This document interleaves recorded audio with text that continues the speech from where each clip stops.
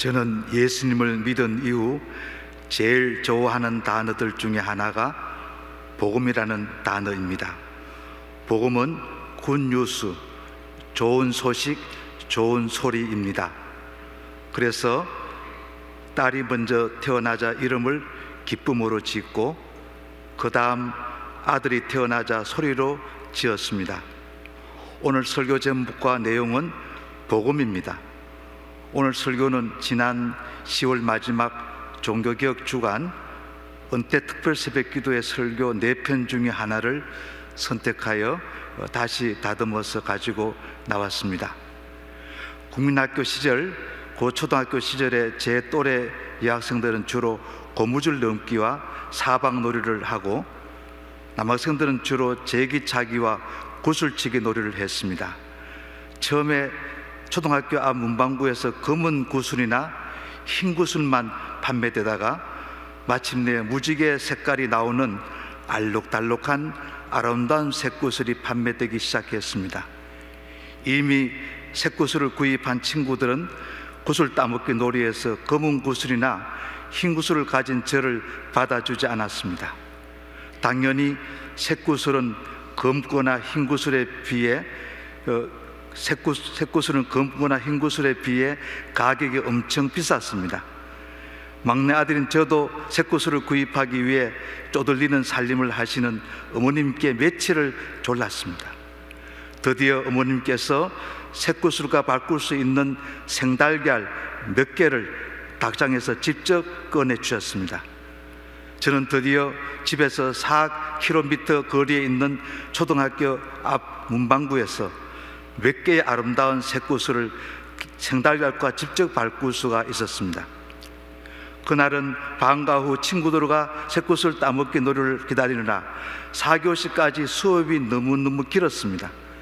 드디어 방과 후에 구슬 따먹기 놀이가 시작되었습니다. 구슬치기를 하다 보니 친구들의 구슬이 더 예뻐 보였습니다. 저는 구슬 따먹기 놀이를 잠시 그만두고 이미 몇 번 사용한 저의 새구슬들을 가지고 학교 교정에 있는 우물가에 가서 우물물로 새구슬을 몇 번이고 깨끗이 씻고 또 씻어 손수건으로 물기를 말끔하게 닦았습니다. 그리고 저는 그 문방구로 쏜살같이 달려갔습니다. 연세가 지긋하신 문방구 주인께서 제 구슬을 받아서 바로 새 것으로 바꾸어 주시지 않고 제 구슬을 들고 가게에서 밖으로 나오셨습니다. 그리고 돋보기 안경을 꺼내 쓰시고 저의 구슬 하나하나를 밝게 빛나는 태양을 향해 비추어 보시고 난 뒤에 저희가 다음같이 큰 소리로 화를 내셨습니다. 학생, 너의 색담화는 이미 여러 번 사용하여 이곳저곳에 기스가 억수로 나 있어. 그래서 새 것으로 절대로 바꾸어 줄 수 없단 말이야.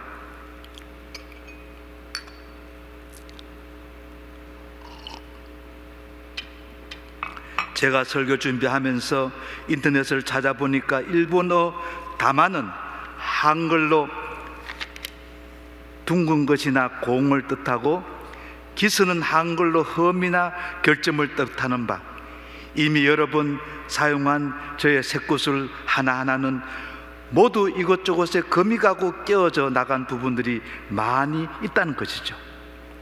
저의 색구슬에 저의 색담화에 있는 수많은 크고 작은 기스들이 그냥 슬쩍 보아서는 잘 식별되지 않지만 돋보기 안경으로 밝은 태양빛 속에서 볼 때 연세가 있으신 문방구 주인에게도 정난나하게 투명하게 보였던 것이죠.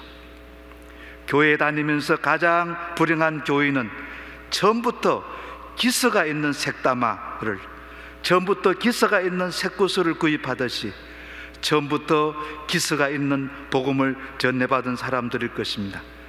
교회 다니면서도 안타까운 교회는 처음에는 기스가 전혀 없는 색담화, 기스가 전혀 없는 색구슬을 구입하듯이 기스가 전혀 없는 복음을 전해받았는데 중간에 이단의 유혹 등 여러 가지 이유로 인해 기스가 전혀 없던 복음에 기스를 내어 기스가 난 복음을 소유하고 있는 경우입니다. 설교 제목인 순도 100%의 복음은 제가 저 문방구에서 생달걀 몇 개와 바꾼 기스가 한 점도 없는 기스가 한 것도 없는 순도 100%의 새꽃으로가 같은 것입니다.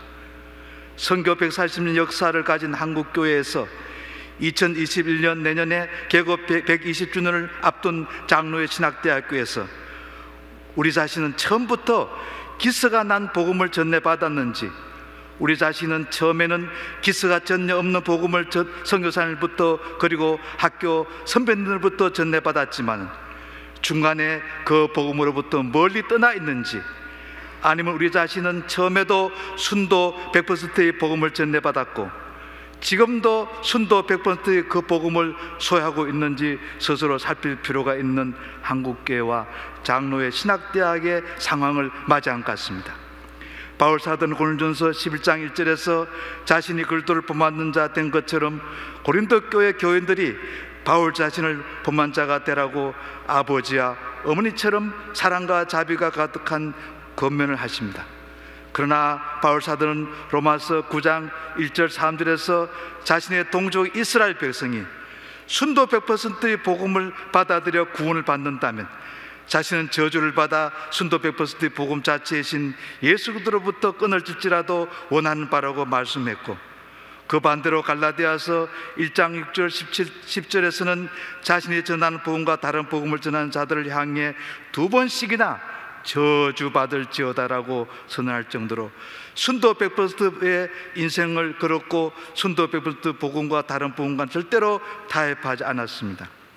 우리 성경 속에서 2000년 교회사의 역사 속에서 130년의 한국교회 역사 속에서 그리고 장로의 신학대학교 120년의 역사 속에서 하나님의 위대한 사람들을 만날 수가 있습니다. 그들의 위대성은 그들의 능력, 그들의 지혜, 그들의 용기, 그들의 성품 등 매우 다양한 면에서 나타납니다. 그러나 하나님의 위대한 사람들이 반드시 공통적으로 가지고 있는 필수적 특징 중에 하나가 바로 그들 모두가 순도 100%의 복음을 만났고 끝까지 그것을 소유하고 그것을 순교를 통해서라도 지키고 전폐했다는 사실입니다.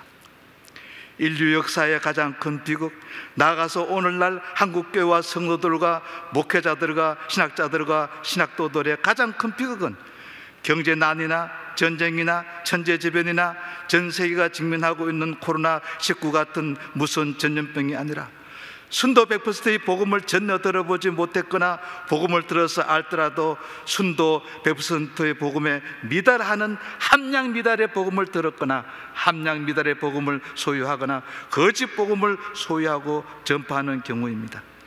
2000년 기독교 역사에서 성 아우스티누스 때 정점을 이루었던 순도 100%의 복음이 점점 희석되어 마침내 서구 중세 시대에 이르러 복음의 암먹기를 맞이했습니다.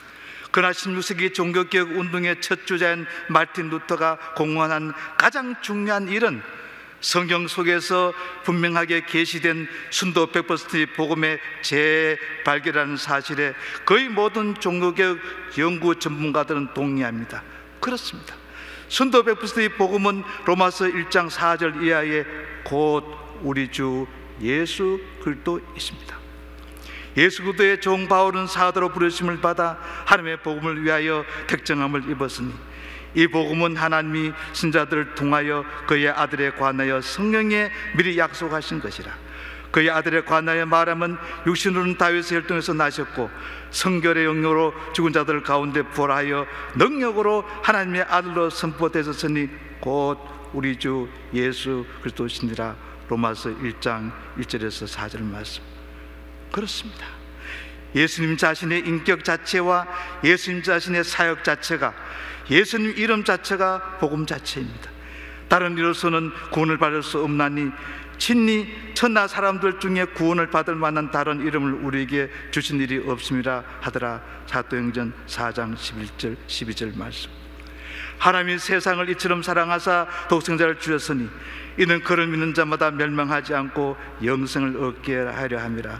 요한복음 3장 16절 말씀. 영생은 곧 유일하신 참 하나님과 그가 보내신 자 예수 그리스도를 아는 것이니라. 요한복음 17장 3절 말씀. 열심으로는 교회를 박해하고 율법의 어로는 흠이 없는 자라 그러나 무엇이든지 내게 유익한 것을 내가 그리스도를 위하여 다 해로 여길 뿐더러 또한 모든 것을 해로 여김은 내 주 예수 그리스도를 아는 지식이 가장 고성하기 때문이라. 내가 그를 위하여 모든 것을 잃어버리고 배설물로 여김은 그리스도를 얻고 그 안에서, 그 발견되려 함이라. 빌립보서 3장 6절에서 9절 상반절 말씀 내가 달려갈 기가 주 예수께 받은 사명 곧 하나님의 은혜의 복음을 증언하는 일을 마치라 하면은 나의 생명조차도 조금도 귀한 것으로 여기지 아니하노라. 여러분은 자기를 위하여 또는 온 양들을 위하여 삼가라.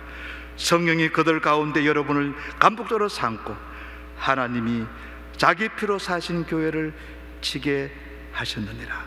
사도행전 20장 24절 28절 미보다 모든 사람이 받을 만한 이 말이여 그리스도 예수께서 죄인을 구원하시려고 세상에 임하셨도다 하였도다. 죄인 중에 내가 괴순이라. 디모전서 1장 15절 말씀. 아멘. 기도하시겠습니다.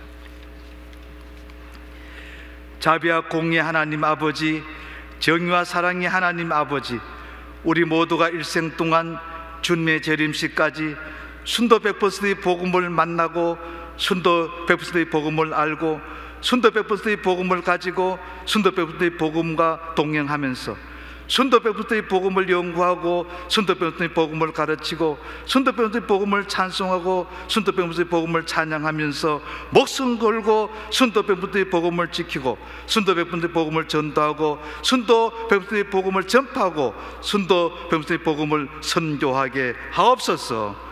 순도 100%의 복음이신 예수님의 이름으로 기도드리옵나이다. 아멘.